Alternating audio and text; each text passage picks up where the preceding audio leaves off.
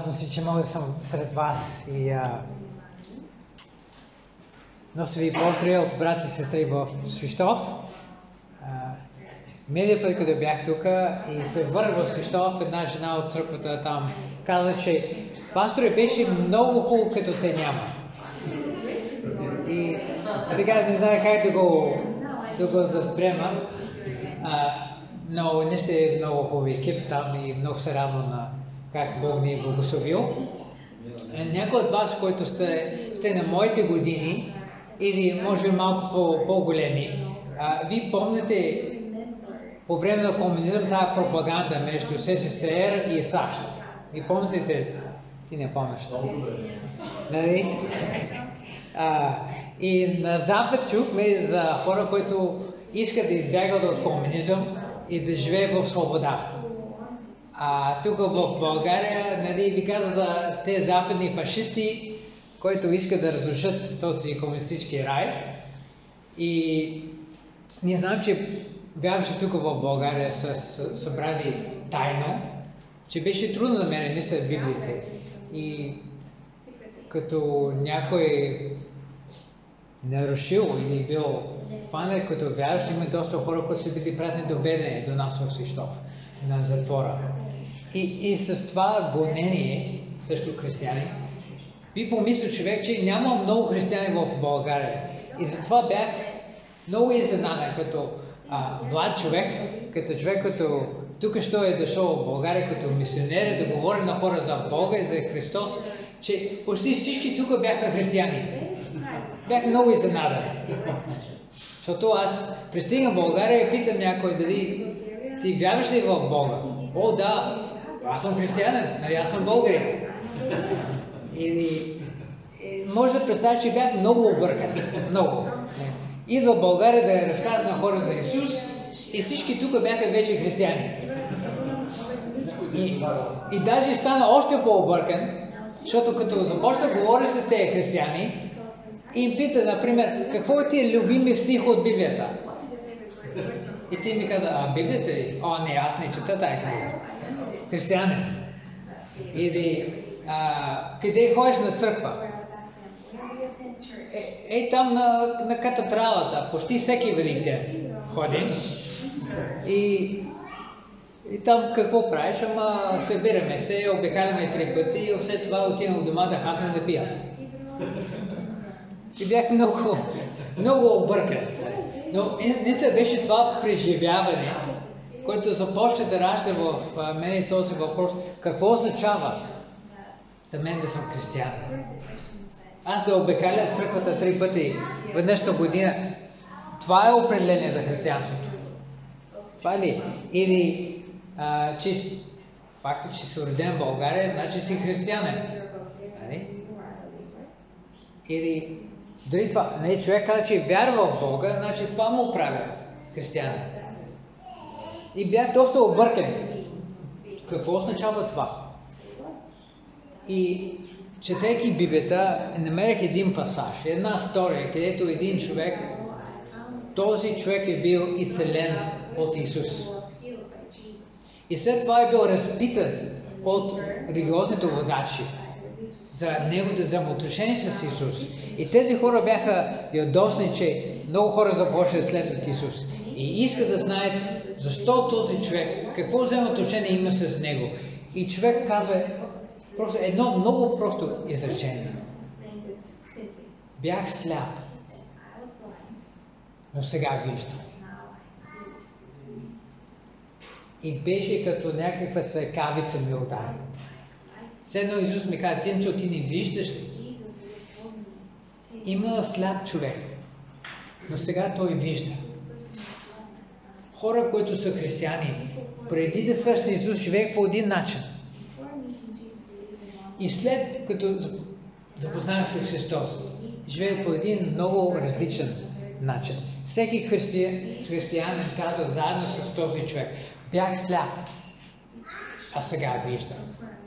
И Библия описва нас по един от три начина. Някои хора, които не познават Исус и не го следват, Библията описа тези хора като слепи, духовни слепи. Те се надяват да минават през живота, да има някакъв успех, обаче не могат да видят нещата. И Библия описва тези хора като слепи, духовни слепи. Но има друго определение, което също дава в Библия. Тези хора, които познават Исус, обаче не са посветени на Него. И той е като човек, който все едно, като мене, има нужда от очила. Той вижда, но понеже не е посветен, не вижда ясно нещата. И както аз знам, че там има някакви хора, а май виждам Тони от брадата с брадата, не? Обаче аз не мога да виждам нещата ясно. И така описва Библията хора, които познават някъде Исус и да определят се като християни, обаче не са посветени. Има и трета група хора, които Библия описва тези, които познават Исус, са посветени от Него, те са докосни от Него, променени са и сега те виждат. И искам да разгледам тук в пасажа в Марк 8 глава. И срещам се тук един човек, който има възможност отново да се види, да види ясни нещата, да бъде целен от Исус. А интересно е, писател от Евангелието на Марк. Той използва тази история да показва, че всеки един от нас, ние имаме си избор.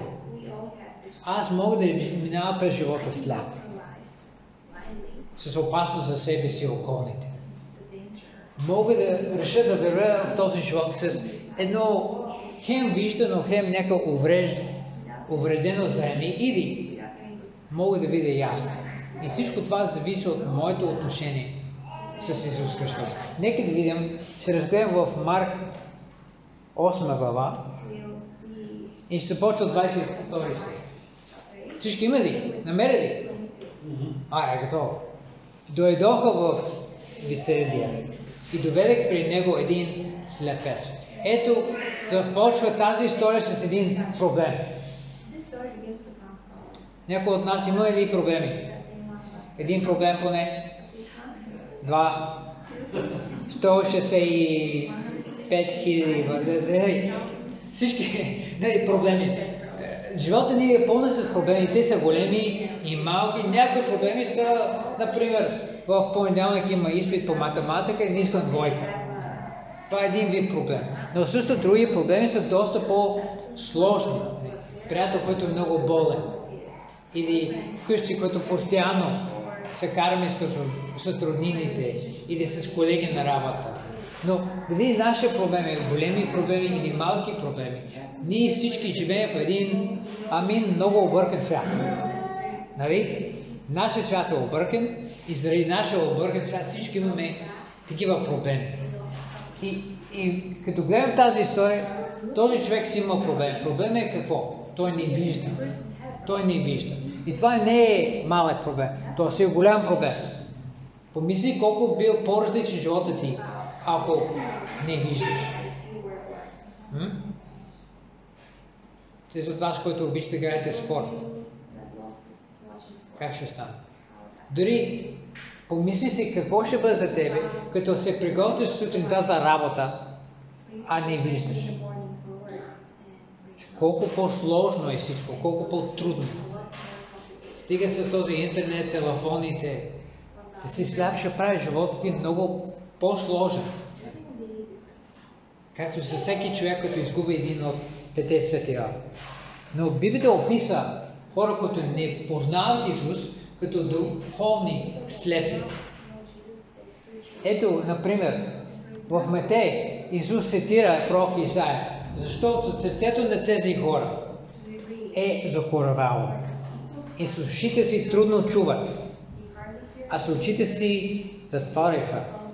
И не би да видят с очите си и да чуят с ушите си и да разберат със сърцето си и да се обърнат и аз да ги изцеля. А вашите очи са блажени, защото виждат, очите ви, защото чуват.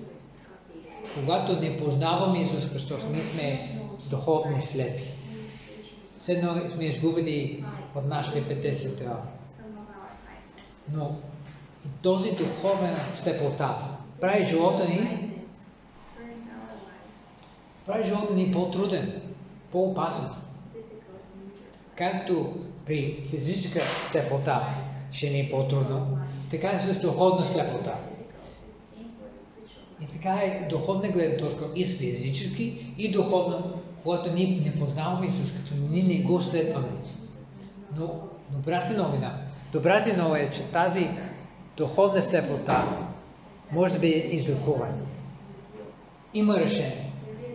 Човек може да започне да следва Исус, да го да изповяда греховете си, да започне да го следва и той ще може да види отново. Както с тези хора, например, Прожава 24 и му се мореха да се докоснат до него. Добрата новина е, че този слепец, той има добри приятели. И приятели на този човек ти го доведе при Исус. Виж, тези приятели те познават Исус. Те са го виждали. Може би те са чули нещо за него, може би те са виждали как той е целява и друг човек. И те просто знаят, че техен приятел има нужда от докосване от Исус Христос. И Той отново ще може да види. Като си мисли колко ужасно не може да видиш. Изведнъж твой приятел ти казва, име наше да бъдеш изцелен. Как ще реагираш? Къде, как, защо, къде, дай, сега, момента. Момент. Какво трябва да правя? И тези от вас, които познават Исус Христос, вие трябва да бъдете такива приятели, както приятел на този човек. Да разбереш, че твоите приятели, като не познават Исус, те са от духовна гледна точка, те са слепи. Техен живот е по-труден. От духовна гледна точка и практически, и физически, защото те не познават Исус. И ти можеш да бъдеш добър приятел към тях. И му заговориш за това. Но тези от вас, тук, които не познават Исус, които не го следват ежедневно. Така описва тези хора Библията. Духовни слепи. Например, всички знаят, че този свят е объркан. Но като си духовен сляп, не ти е ясно защо. Само осъзнаваш, че нещата не са в ред. Но защо? Има моменти, в които живота ти се чувства безмислен. Какъв е смисъл на този живот? Ти усещаш, че и трябва да има някакъв смисъл, но не ти е ясно точно защо, какво е. И сега ден хората лъжат, те предават, но къде можеш да мериш нещо, което е истинско? Нещо, което е вярно? Всички те са признаци на духовна слепота. Знае, че нещо не е вред с този свят. Даже нещо не е вред с мене, но не ми е ясно точно какво е. Това е духовна слепота. И ако искаме да видим, трябва Исус да ни докосва. Имаме нужда от една трансформация, едно преобразение в нашия живот, да може да видим. И виж много интересно в тази история. Виж още 23 стих. Значи те довеха този човек при Исус и виж какво стана. Гледай внимателно. А те, а той хвана слепеца за ръка, изведе го вън от селото. И като плюна на очите му, положи на него ръце и го попита, виждаш ли нещо? И той като подигнал очи и каза, виждам хора, защото виждам нещо като дървета, които ходят. Доведе го този човек при Исус, Исус веднага го изцели, нали? Не. Не. Какво стана в тази история? Първо, какво първо прави Исус? Изведе вън от селото и той го наплю. Не съм голям привързаник на това начин на изселение на хората. Аз съм виждал по филми, които ударят хората, падат отзад. Нали? Не съм виждал да плюва в лицето на човека, като изселение. Нали? Отиш на лекар, лекар не ми е добре крака, първо трябва да плюва в лицето ти, тогава ще... Нали? Някой от вас имате такива майки. Плю на тебе и изтрива. Някой само аз. Вика, мамо, що ме плюеш? Не? Така са ни майките. Не? Но Исус плюе на него. Е интересно, този човек, той хем вижда, но не е цяло и целен. Той нещо вижда, какво каза? Виждам хора, които също дървета, нещо ходят, нещо не ми е ясно. Значи какво стана тук? Може би този проблем е прекалено труден за Исус. М? Мислиш ли? А преди Исус е седел всякакви вид болести, трудности, даже и смърт. Може би човек още има слънка в очите. Да. Виж, цялата тая история е да ни научи нещо за духовна слепота. Преди да срещам Исус, всички бяхме слепи. Но ето тук е парадокса. There's Искаме да видим, искаме да сме изцелени, но също искаме да продължаваме да живеем живота както преди, до бях свят. И толкова сме свикнали на този начин на живот, че е много трудно да промени начин по който ние живеем. Какво има пред едно? Искам да видим само с едно око. По-добре е от това- това да съм сляп. Обаче, какво стана като имаш само едно око? Нали? Възприятие за дълбочината, малко страда, перфорирано, перфорирано зрение, но трябва да признаваме, че има хора, може би и ние, и хора, които познаваме, които са като този човек. Те уж са били докоснати с Исус, уж го познават, Jesus, they но от духовна гледна точка не всичко им ясно. clear to them. Понякога е така, защото още имаме такава едно око затворено. Ходиш на църква, може би от време на време четеш Библията, като искаш нещо, ти се молиш, но ти не си позволил Исус да те промени изцяло отвътре. Да бъдеш трансформиран от Божието Слово. Но да може ние да видим ясни неща. Не само на части, но ясно да вижда нещата. Трябва Исус да изцяло да промени стария начин на мислене, стария ни живот. Ти се чувстваш, се чувстваш защо ходиш на църква, има хубаво усещане, но не виждаш реална промяна в живота ти. Все повтаряте ние същи стари проблеми. Ето това е. Виждаме, но не виждаме ясно нещата. Защото искам само с едно око. Да видим, но едно време да живеем както съм жал преди. Не си позволил Исус изцяло да те трансформира. Имаме нужда от това. Много един, от любимите стихи от Библията. Страшен стих. Римне 12. И не дей се съобразува с този век, но преобразявайте чрез обвиняване на ума си. За да познаете от опит какво е Божията воля. Това, което е добро, богоугодно на Него и съвършено. Ето един образ, който хората въобще искат ти да следваш. Една кутия, в която искат те да те слагат. И Библия казва, че не, не, не. Трябва да бъдем преобразени, променени, трансформирани. Не на образ на този свят, но на образ на Божия Син. Да бъде като Бог. И затова имаме нужда Исус отново да ни докосва. Трябва ни едно обновяването на ума ни. Да бъде променен и цяло вътре. И накрая какво стана?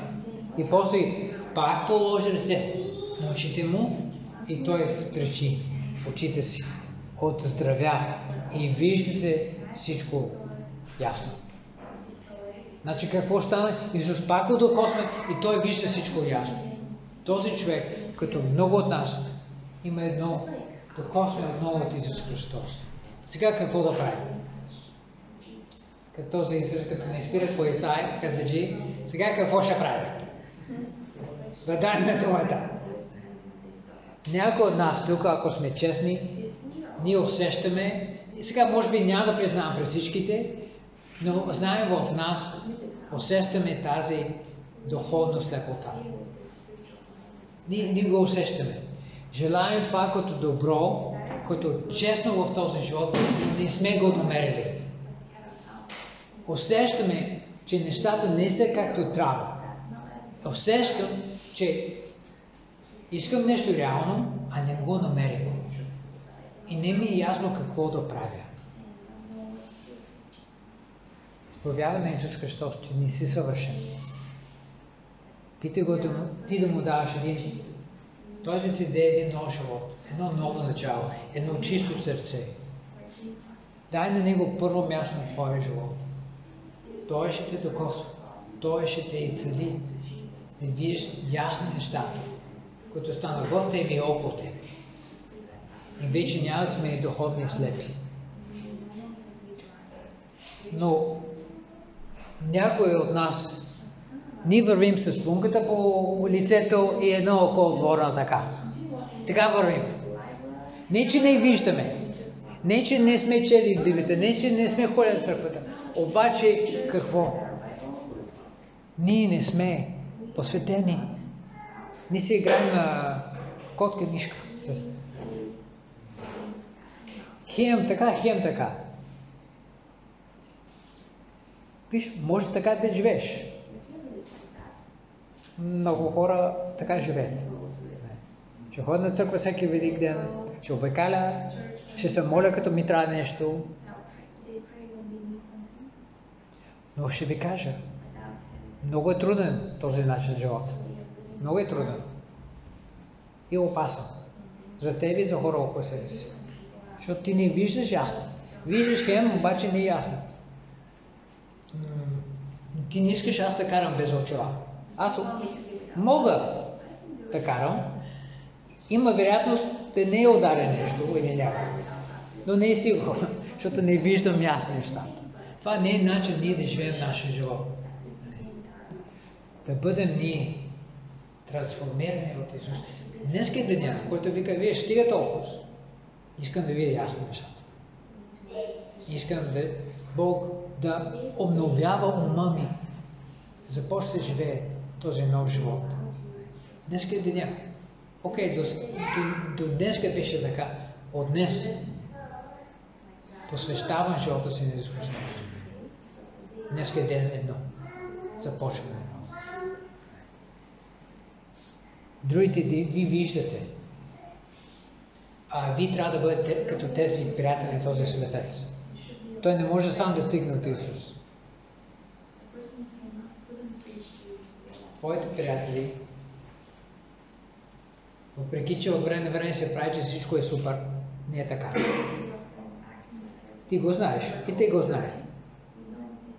Имат нужда от нещо реално. Нещо истинско. И ти го познаваш. Продължава да им говори. Продължава да се молите за тях. Не се отчаивайте. Виж какво, защо? Те са много твърди.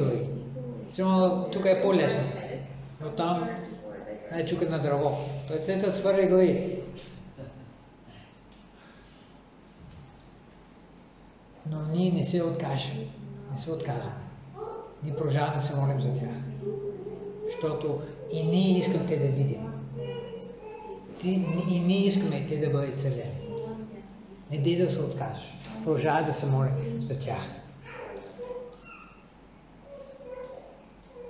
Нека наистина ние да следваме Исус. Да видим.